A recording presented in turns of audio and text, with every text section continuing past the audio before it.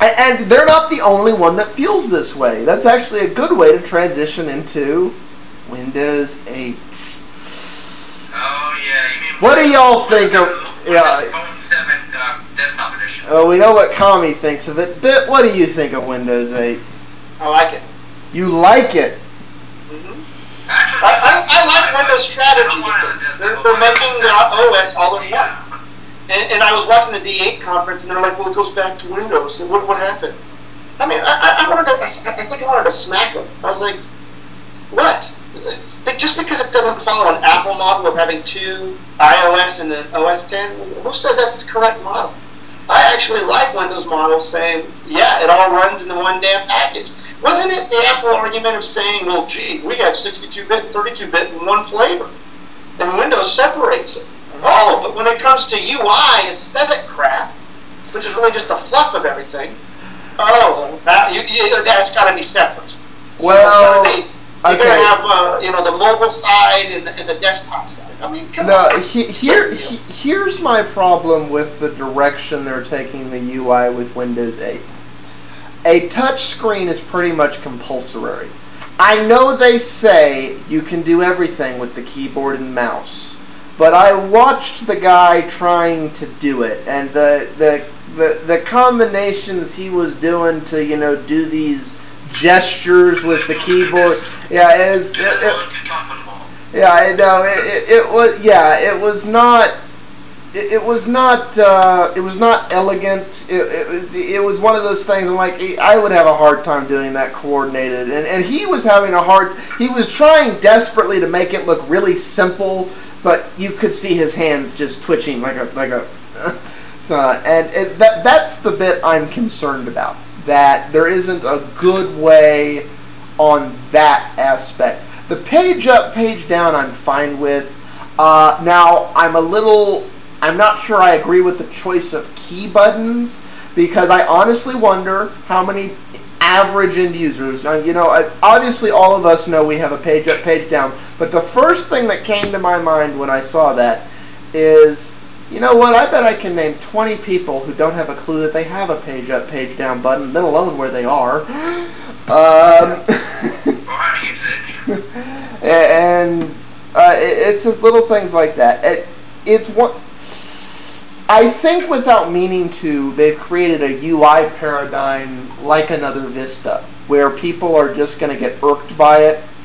Uh, that they're almost going to need another OS to get people like they're go- the people are going to declare they hate it because it's different and not really give it a shot, whether it's a good idea or not. I'm gonna give it a shot. I, I like it. I mean, I, I think Windows, the, the normal Windows UI is obviously still present there. But I think what they're trying to do and just show off was the tablet version of Windows OS. I don't think. No, I think. No. I think that. That, I think that no, What? that bit that's the desktop OS. I, I I was saying the same thing Sunday, but I've done some more research here and I've looked into this. There are videos on Microsoft's official YouTube site and other things. This is the default at boot UI for every Windows 8 system, regardless of form factor. It is that tile swipe system. That's it. I, That's- I don't. I don't mind the tile swipe. All right. Well, then I'd have to play with. Perhaps navigation is faster with those tiles than the start button. I, I'm, I'm open for you know for uh, for stuff like that. I hope they have a, a quick universal search. You know, like I can maybe just hit a, a couple of keys, like on um, OS 10, I can hit Command Space and, and watch an app or or whatever. So I'll, I'll give it a shot. I, I, I, I like I like I really like. I own a Zune HD. I like the Zune interface. I think it's kick kick butt, and, and I think Windows 7 follows that same tiles there. I think that's pretty cool. So. Uh, I, I, I- I don't know on that. It, it's I it, think it's it- good on tablet, but and desktop. Yeah, it, it, it's gonna be an it, it's gonna be an interesting uh, pull to make It'd there. be good for an all-in-one. Oh, I'm sure they're gonna let you go back to the classic version. Come on, they're not gonna force you to.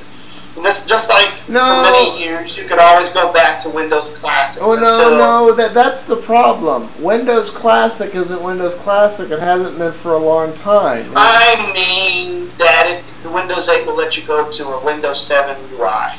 Know, that, that, that's what I mean by going a classic version, like going back. Uh, well, no, and, and all with yeah, most people didn't know how to turn that stuff out in XP or Windows, Windows Vista or Windows Seven. Like the people that like that UI did, does not turn that back on back in the '98 UI, you know.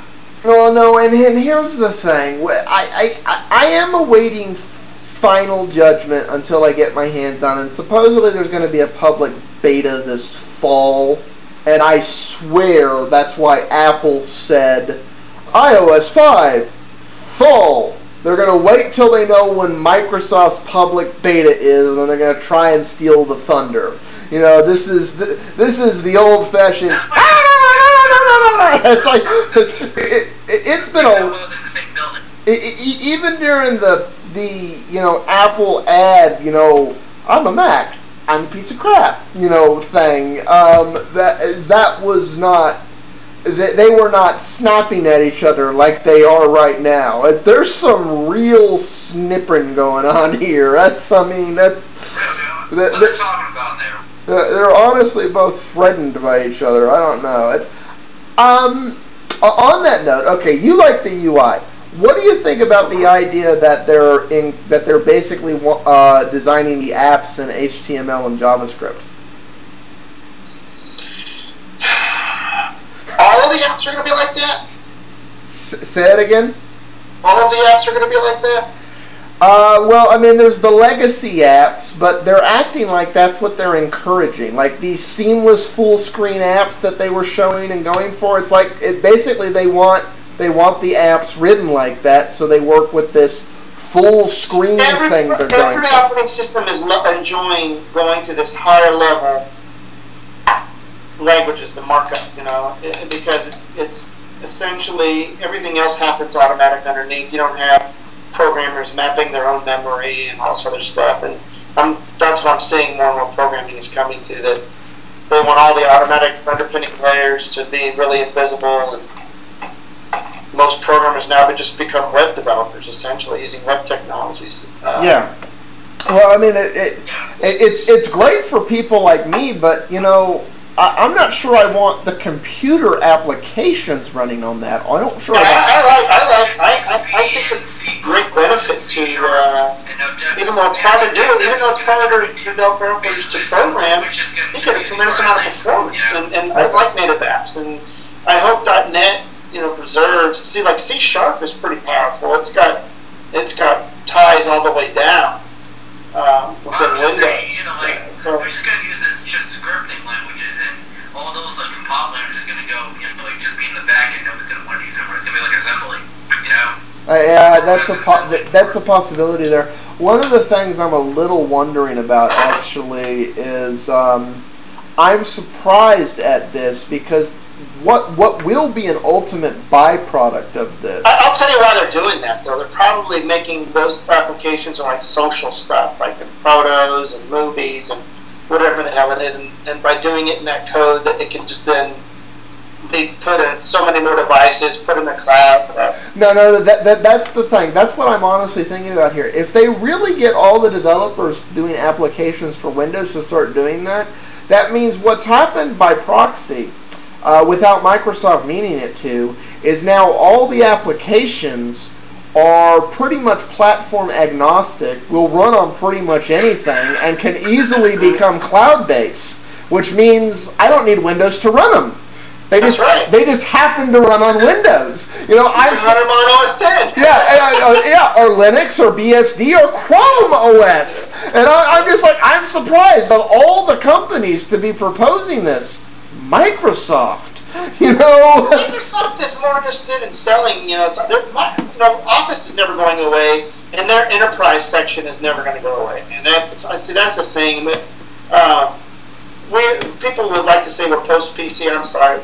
I consider like this Zune HD a PC. You know, I'm, I'm no, see, no, that that's the thing. I it, consider. it, it, we're post maybe desktop, but then I would say we were always struggling with desktop. In other words, you don't need most users don't need an i7 with four gigs of RAM and you know liquid cooling like I got in my, Yeah, in my bet, when, when did you buy a But you think system? 12 gigs of RAM! You know, it's, Yeah, it's overkill. I, I concede that not everybody needs a desktop and maybe a tablet if they've never had a computer before in their life.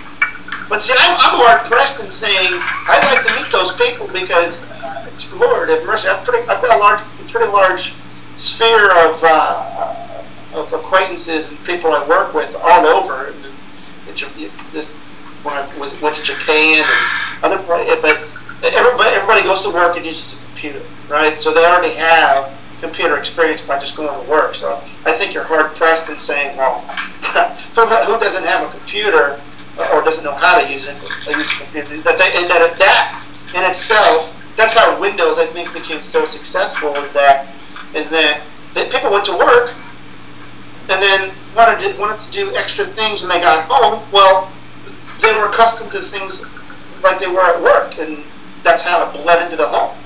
Well, and the other thing going on there, honestly, and this is one of the reasons I, I personally have real reservations about the Windows 8 UI tweak they're doing. Like I said, I'm holding final judgment till I actually play with. But my first impression of it is, okay, this is great if I want to do something simple. The you know the whole sales pitch behind Phone Seven in and out, in and out. You know, in and out, get on with your life, okay? And it, it looks like it's great for that. My can, but, but, no, no, no, but, go through that by default. You can turn all that crap off if you're a power user. Well, no, well, no. My my concern is, and this is going to be my test of the UI. I like I like like we were saying last week. I'm fine with ease of use as long as it doesn't get in the way of getting actual stuff done. And the real test I want to weigh against here is how hard is it to get actual work done and do some higher end stuff that is going to have to happen in a lot of cases.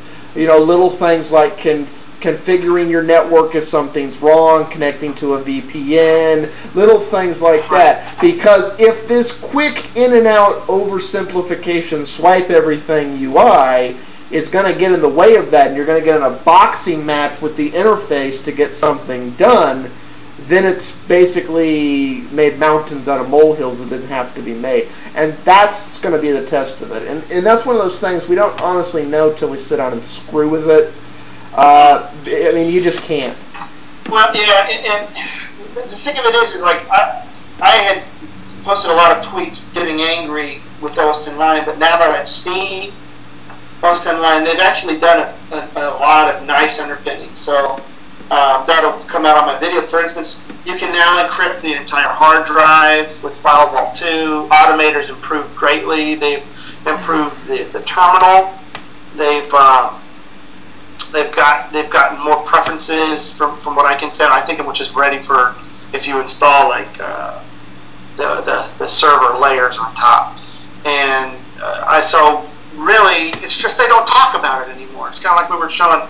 The, the pro customers aren't their base, so they don't talk about it. But well, no, and, and, and, and OS X Lion has been making those those improvements. You just don't mention them. Is the, well, no, and, and see, that's the thing. Honestly, with both these OSs, to really judge them, I got to sit down and screw with them. But what is shocking to me, I mean, this is this never happens, but for all intents and purposes, both Microsoft and Apple are literally uh-huh. saying the exact same thing. Get rid of everything, just make it a big. It's like literally the selling point of both Lion and Windows 8 is basically we have it's a full screen experience uh, you're basically going to be doing one thing at a time uh, with, with, degree of organizing, but basically, you know, that's the selling point. You know, multitasking, no. Why It's not no. Like big one thing front and center, and if you need another thing, put it next to this thing and do that thing. That's literally the selling point both are going for. And it's surprising to hear both of these companies selling this same thing. Slightly different wrappers, but for all intents and purposes, the same thing. That, that's a shocker. Bit? Yeah, hold, hold on just a second. Okay. He's having trouble in paradise at the moment. Well the whole um the whole job is credential thing. That's basically how GNOME three is. No, no, that, that was the that was the other thing to bring up there. It, it's like Microsoft is not the only one doing this. This is actually a cross thing. Everybody's doing this. Google, GNOME, Sun. It, yeah. I don't know what's in Plasma that wikis have written in. Who's your co-host, Bit? One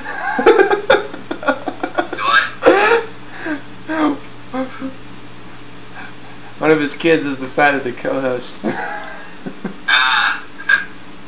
Is that Junior Big?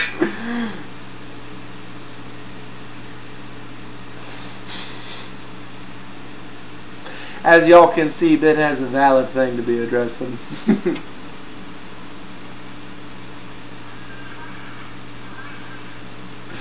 and he will be right back. no, I, I, I, I'm with you. It's it's an interesting direction. I got to get my hands on this to to to, to know it. What I'm more concerned about is what it's going to keep me from being able to do on both platforms. You know, it, it's it's. I know you're not a Gnomite, but what do you think of Gnome 3? Have you messed with it? It's not as bad as Unity. yeah, that's not saying much though. That's like saying, uh, well, this smells bad as manure. You know? Yeah, I, I know. It, it You know, it at the end of the day, they're just not what I'm look. Not, they're just not what I'm looking for, and you know that is what it is. And Yeah, true.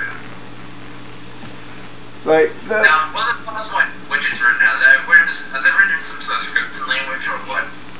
You know, they're being a little bigger. For all I, c- from what I can tell, Microsoft has basically largely gotten rid of the gadgets. You know, they've just basically replaced everything with these tiles. And Yeah, that big I got is in Windows, uh, uh, Windows Vista, and that ate up on your Okay.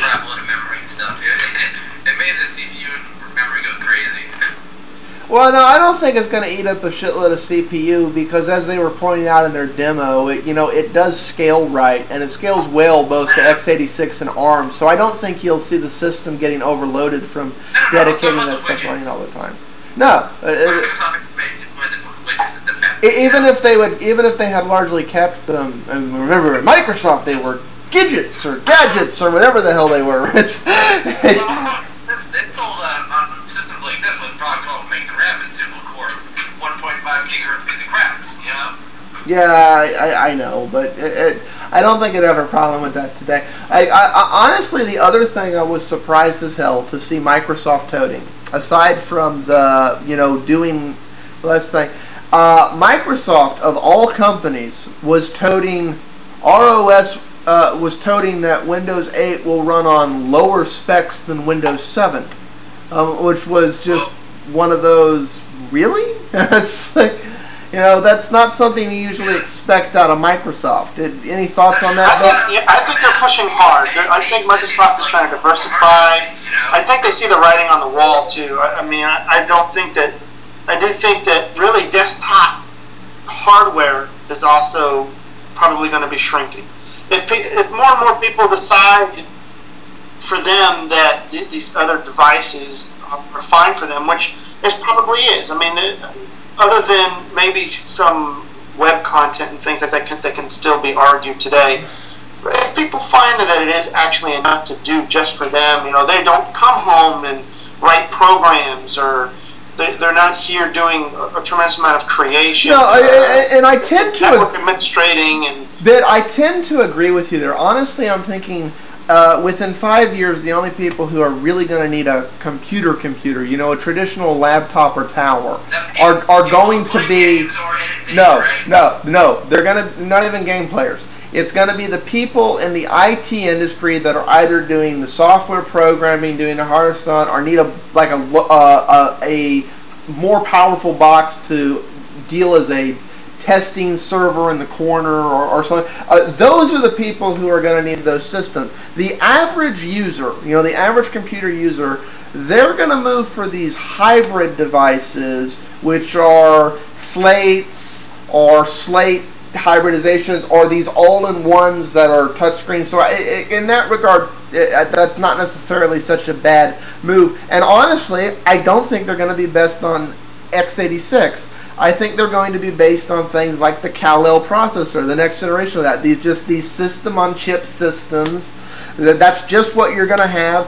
It's yeah, we're finally simplifying. I mean, it's finally coming down to the way user behavior is, is, is happening is that we've actually made software more efficient. If you think about it, if we actually do go to the, mo- the mobile route where um, that becomes the, predom- the predominant PC that people uses, then we've actually made things much more efficient and more to what the user demands. But that will also probably make desktop prices higher for those of us that. Yeah. I, I have a sneaking suspicion you and I to get our work done are going to have to figure a way to pad in a five to five to six grand tab to deal with this niche market system that we need to do what we're doing. Uh, that ninety percent of the end user doesn't need. So there's Mhm. yeah, it, would- that will drive the price of the Bunch system up. ones, you know. Uh, well, no, for, for for certain things you just need that. Uh, but um, it, I, I mean, I guess uh, uh, the only way I would see us not needing them, and this is a possibility, maybe software will catch up to the point that distributed parallel computing amongst all your devices will actually be efficient. They do that right now in some non-time sensitive supercomputers, but it, it's it's not necessarily the most efficient process right now. Uh, there's, I guess, it could be made to be if the need arose. You know, that'd just be a software engineering problem, and I, I guess it's possible, but uh, I, I'm not seeing that happen Well, overnight. like BIOS? Something like that, efficient. Well, no, but at the end of the day, you, you are still limited by the processing capability of what's in front of you, and it's, yeah, it, it's. I mean, you, you can't. I'm sorry. Unlike a human being, you can't ask a computer to give you 120 percent. Sir, yes, sir. it's like it just it doesn't work that way. That what someone's talking for? Well, what the reality is, you know, like Bit was saying, the number of people that actually need an i7, let alone a Xeon, is almost non-existent. You know, it, it's it, it just it doesn't exist.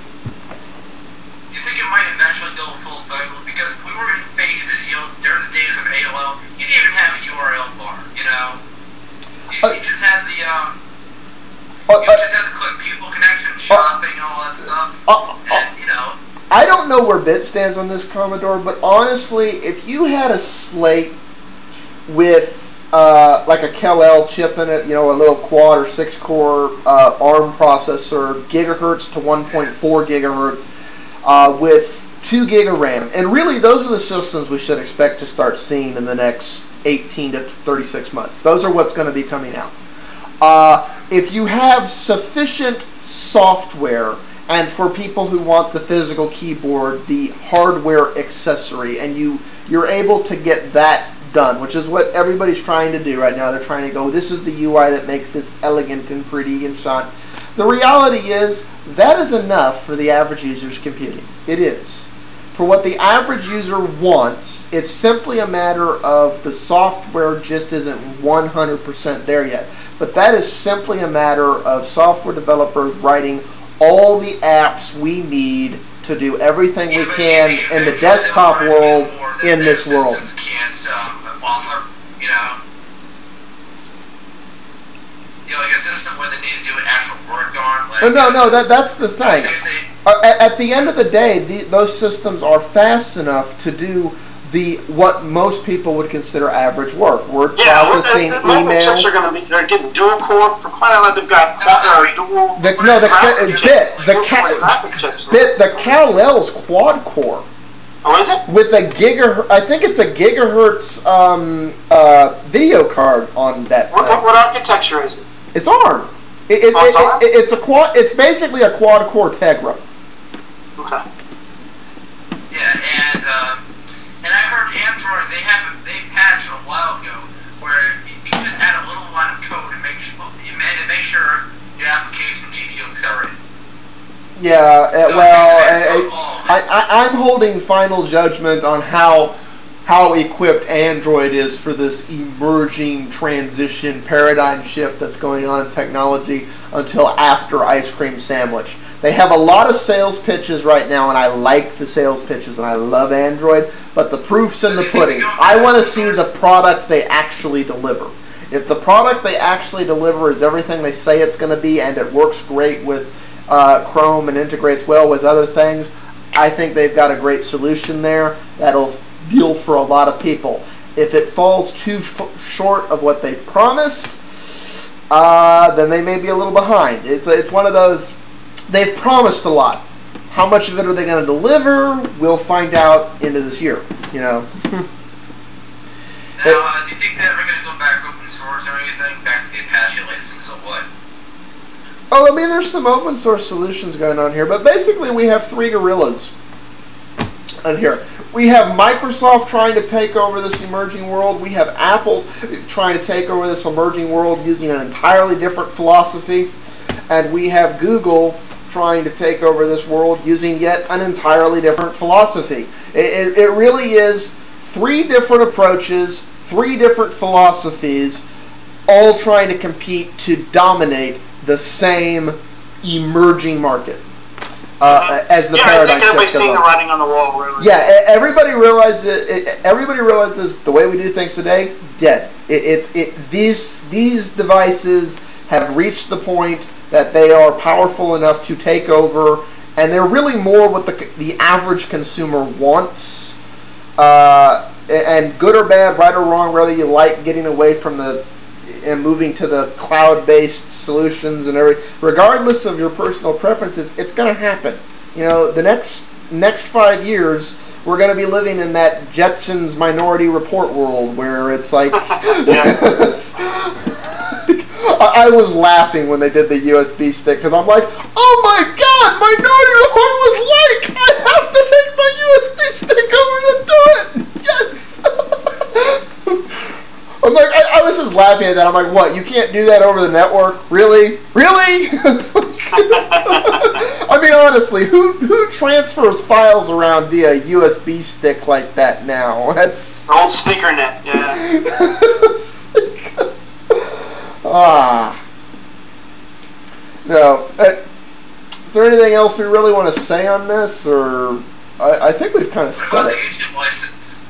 Say that again. What about the YouTube license?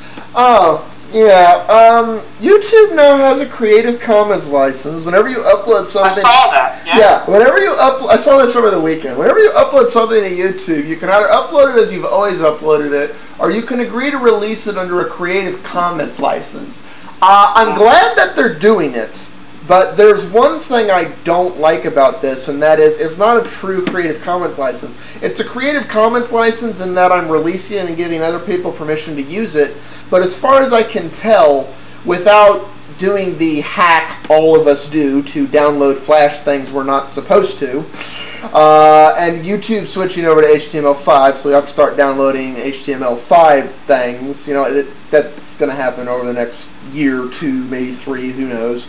Uh, but what I would have loved to see is if you OK Creative Commons, people don't have to use the YouTube system to access and edit and cut it in, because that means they've got to put everything in and then they got to edit it in YouTube only with that really primitive restraining YouTube editor and yada yada. I'm like, "Uh, you know what, YouTube? If I release it under Creative Commons, just let them download the file and do it on however they want to do it. You know, it, it, it- and that actually would save Google bandwidth, I would think, because then there's just the one stream as opposed to the watch on watch watch on as they're editing and messing with everything. But that's the way they chose to do it. You know.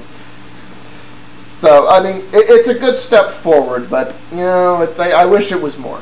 But I'm glad they're supporting the Creative Commons thing. My hope is that straightens out a lot of the um, bogus, DMCA's. yeah, DMCA claims and stuff going on with YouTube.